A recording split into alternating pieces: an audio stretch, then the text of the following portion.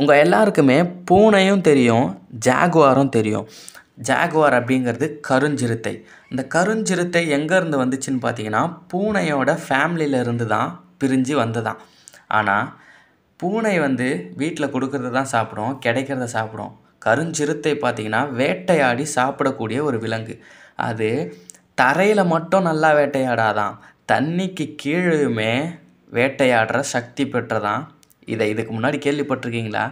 இப்போ தான் கேள்விப்படுறேன் அப்படின்னு சொன்னீங்கன்னா நம்ம வீடியோக்கு ஒரு லைக் போட்டுருங்க. உங்கள் ஃப்ரெண்ட்ஸ் கூடயும் ஷேர் பண்ணுங்கள் நெக்ஸ்ட் வீடியோவில் பார்க்குறேன். பாய்